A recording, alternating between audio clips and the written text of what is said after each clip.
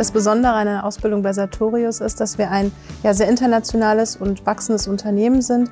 Dies bietet den Auszubildenden viele Lern- und Entwicklungsmöglichkeiten. Wir haben äh, ein Ausbildungslabor und zwei Ausbildungswerkstätten, in denen sie viele Dinge ausprobieren können.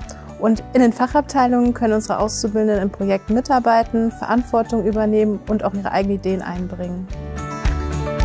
Für viele ein wichtiger Punkt ist, dass wir mit unseren Technologien dazu beitragen, dass mehr Menschen Zugang zu besserer und bezahlbarer Medizin bekommen.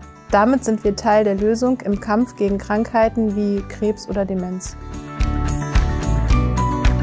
Sartorius bildet aktuell an drei Standorten aus, in Göttingen, Cuxhagen und Ulm.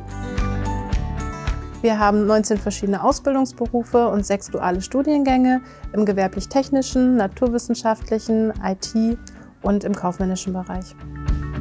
Mein Tipp für Schülerinnen und Schüler in Bezug auf die Berufswahl ist, dass sie sich möglichst gut informieren, dass sie die Möglichkeiten von Berufsinformationsveranstaltungen, Messen, Schulbesuche nutzen und auch Praktika absolvieren, um möglichst viele Ausbildungsmöglichkeiten kennenzulernen und dann herauszufinden, welcher Beruf zu ihnen passt und sich nicht davon beeinflussen zu lassen, was andere machen.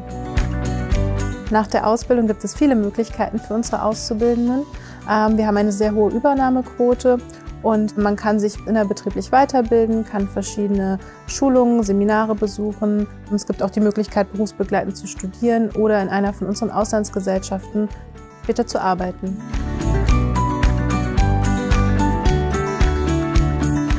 Vielseitig, modern, partnerschaftlich.